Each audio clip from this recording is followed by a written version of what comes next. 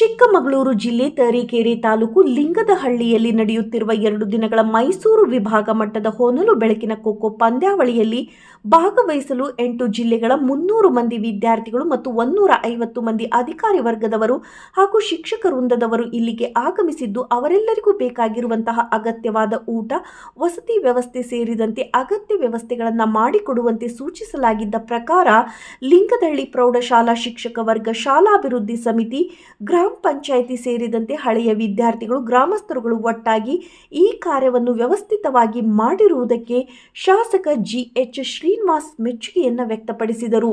ಸೋಮವಾರ ಮತ್ತು ಮಂಗಳವಾರ ನಡೆಯಲಿರುವ ಮೈಸೂರು ವಿಭಾಗ ಮಟ್ಟದ ಪ್ರಾಥಮಿಕ ಶಾಲೆ ಹಾಗೂ ಪ್ರೌಢಶಾಲೆಗಳ ಹೊನಲು ಬೆಳಕಿನ ಖೋಖೋ ಪಂದ್ಯಾವಳಿಗಳಿಗೆ ಚಾಲನೆ ನೀಡಿ ಕ್ರೀಡಾ ಜ್ಯೋತಿಯನ್ನು ಸ್ವೀಕರಿಸಿ ಕ್ರೀಡಾ ಧ್ವಜವನ್ನು ಆರೋಹಣ ಮಾಡಿ ಕ್ರೀಡಾಪಟುಗಳ ಪರಿಚಯವನ್ನು ಮಾಡಿಕೊಂಡು ನಂತರ ನಡೆದ ಸಮಾರಂಭವನ್ನು ಉದ್ದೇಶಿಸಿ ಮಾತನಾಡಿದ ಶಾಸಕರು ತಾವು ಮೊದಲ ಬಾರಿಗೆ ಶಾಸಕರಾಗಿದ್ದ ಸಂದರ್ಭದಲ್ಲಿ ಲಿಂಗದಳ್ಳಿಯಲ್ಲಿ ಜಿಲ್ಲಾ ಮಟ್ಟದ ಪ್ರತಿಭಾ ಕಾರಂಜಿ ಕಾರ್ಯಕ್ರಮವನ್ನು ನಡೆಸಿದ್ದ ಸಂದರ್ಭದಲ್ಲಿ ಅಂದಿನ ಶಿಕ್ಷಣ ಸಚಿವರಾಗಿದ್ದ ಕಿಮ್ಮನೆ ರತ್ನಾಕರ್ ಮತ್ತು ಸಭಾಪತಿಗಳಾಗಿದ್ದ ಡಿಎಚ್ ಶಂಕರ್ ಮೂರ್ತಿ ಭಾಗವಹಿಸಿ ಲಿಂಗದಳ್ಳಿಯಲ್ಲಿ ನಡೆಯುತ್ತಿರುವ ಪ್ರತಿಭಾ ಕಾರಂಜಿ ರಾಜ್ಯ ಮಟ್ಟದಲ್ಲಿ ನಡೆಯುವಂತಹ ಪ್ರತಿಭಾ ಕಾರಂಜಿಗಿಂತಲೂ ಅತ್ಯುತ್ತಮವಾಗಿ ನಡೆಯುತ್ತಿತ್ತೆಂದು ಮೆಚ್ಚುಗೆಯನ್ನ ವ್ಯಕ್ತಪಡಿಸಿದ್ದರು.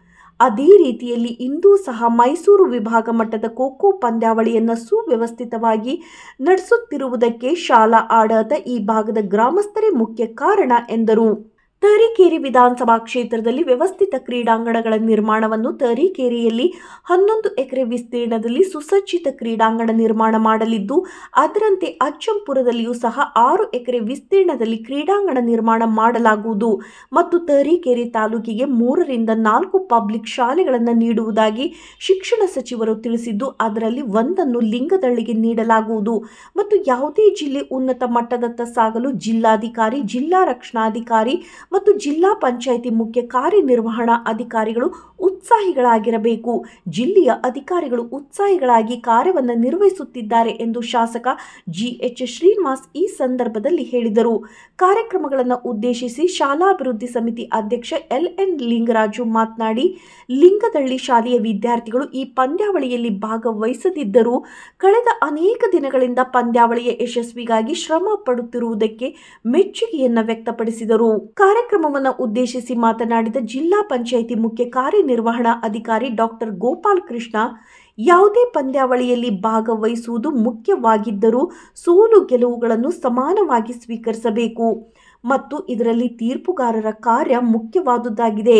ನ್ಯಾಯಯುತವಾಗಿ ತೀರ್ಪು ನೀಡುವ ಮೂಲಕ ಅರ್ಹ ತಂಡದವರನ್ನು ರಾಜ್ಯ ಮಟ್ಟಕ್ಕೆ ಹೋಗಲು ಅವಕಾಶ ನೀಡಬೇಕು ಎಂದು ಹೇಳಿದರು. ಈ ಸಂದರ್ಭದಲ್ಲಿ ಶಾಲಾ ಅಭಿವೃದ್ಧಿ ಸಮಿತಿ ಸದಸ್ಯೆಯಾದ ರಚನಾ ಶ್ರೀನಿವಾಸ್ ಮಾತನಾಡಿ, ಕಳೆದ ಹದಿನೈದು ದಿನಗಳಿಂದ ಶಾಲಾ ಆಡಳಿತ ಮತ್ತು ಶಿಕ್ಷಕ ವೃಂದದವರು ಪಂದ್ಯಾವಳಿಯ ಯಶಸ್ವಿಗಾಗಿ ಅವಿರತವಾಗಿ ಶ್ರಮಿಸುತ್ತಿದ್ದಾರೆ. ಶಾಲಾ ಮುಖ್ಯ ಶಿಕ್ಷಕ ಸೋಮಶೇಖರಯ್ಯ, ಜೆಎಂ ಕ್ರೀಡಾ ಶಿಕ್ಷಕರಾದ ಬಿಸಿ ಚಂದ್ರಶೇಖರ್ ರವರ ಮಾರ್ಗದರ್ಶನದಲ್ಲಿ ಸುವ್ಯವಸ್ಥಿತವಾಗಿ ಪಂದ್ಯಾವಳಿಯನ್ನ ನಡೆಸಲಾಗುತ್ತಿದೆ ಎಂದು ಹೇಳಿದರು. ಈ ಸಂದರ್ಭದಲ್ಲಿ ಜಿಲ್ಲಾ ಶಿಕ್ಷಕ ಪ್ರಶಸ್ತಿ ವಿಜೇತ ಶಿಕ್ಷಕರಾದ ಬಿಸಿ ಚಂದ್ರಶೇಖರ್ ರವರನ್ನ ಶಾಲು ಹೊದಿಸಿ ಕಿರುಕಾಣಿಕೆ ನೀಡಿ ಸನ್ಮಾನಿಸಲಾಯಿತು.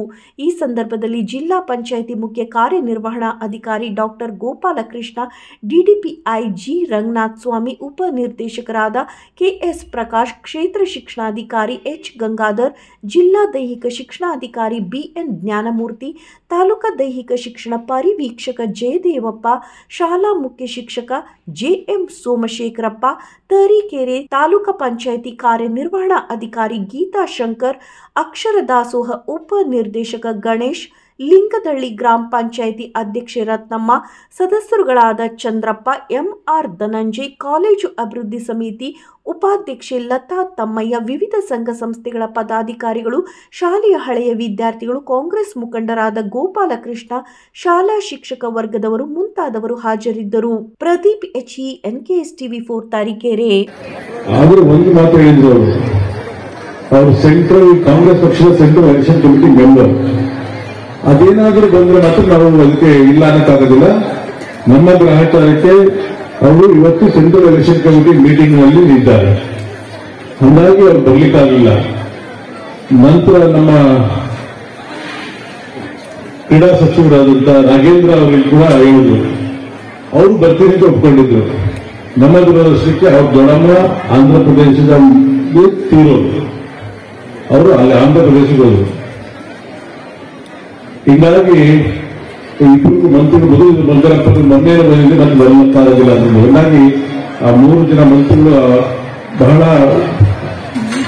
ತುಂಬಾ ಕಾರಣಗಳಿಂದ ಬರಲಿಕ್ಕೆ ಆಗಿಲ್ಲ. ಜೊತೆಗೆ ಇವತ್ತು ಈ ಕಾರ್ಯಕ್ರಮ ಯಶಸ್ವಿಯಾಗಿ ತುಂಬಾ ಜನರು, ನೂರಾರು ಜನಗಳು ಇಲ್ಲಿ ಕೆಲಸ ಮಾಡಿದ್ದಾರೆ. ಅದರಲ್ಲಿ ನಾವು ಕೆಲವೊಂದು ಹೆಸರುಗಳನ್ನ ಹೇಳಿದ್ರೆ ತಪ್ಪಾಗುತ್ತೆ. ಈಗ ಚಂದ್ರು, ನಾವು ಪಿ ಟೀಚರ್ ಇರ್ಬೋದು ಮತ್ತೆ ನಮ್ಮ ಸೋಮಶೇಖರ್ ಕಾಲೇಜಿನ ಎಚ್ ಎಂ ಸೋಮಶೇಖರ್ ಇದ್ದಾರೆ.